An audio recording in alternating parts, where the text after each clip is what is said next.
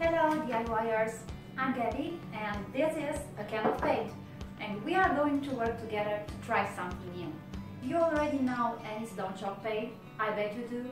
Uh, I like it, I use it, I'm, I got used to it and I want to try something new this time because uh, all the techniques that I've learned for, for using Annie Sloan Chalk paint didn't include this.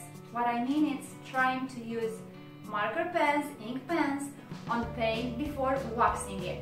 What I'm going to do is to switch from the acrylic paint that I'm using right now on these little houses to Annie Sloan Chalk paint because this one is more versatile and safer for the kids.